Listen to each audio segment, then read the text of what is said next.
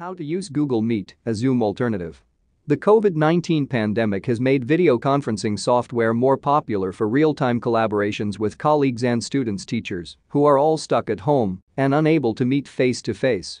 Out of all the software available, Zoom is perhaps the most commonly used since its free account could already host dozens of people and longer meeting times. Nevertheless, there's a rising candidate that is meeting the demands of the COVID-19. Google Meet. For those who are not aware of what Google Meet is, it's Google's take on video conferencing software, allowing multiple people in one meeting room, as well as decent meeting time, minus all the complicated steps Zoom has. According to UC Today, Google Meet already has over 100 million meeting participants, making it incredibly popular as Zoom and other video conferencing devices there are. Features and security. Perhaps one of Meet's best features is its meeting time. Currently, a video meeting could last as long as you want, making it an excellent choice for online webinars, training, meetings, and classes but this is about to change in October, where each video meeting will only be able to last for an hour, according to Fast Company.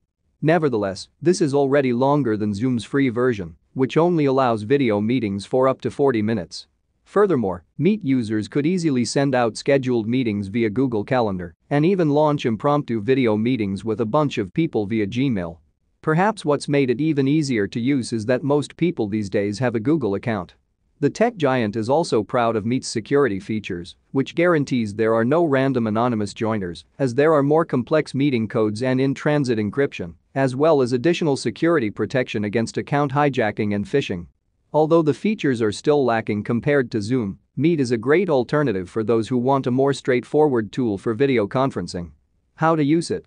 Now that you know what Google Meet offers, how do you set up your account and use it? The software is available to use either straight from your browser by heading to the web page or Android or iOS devices, with the former as the best choice if you want to explore the software and its full spectrum of features. Once you're there, you will have to choose between starting a meeting or joining one. When starting a meeting, click the New Meeting button, and then, three choices will appear. Get a meeting link to share. Start an instant meeting. Schedule in Google Calendar, but the third option is only available when you're using the web browser. For those who are joining a meeting, you can do so in two ways.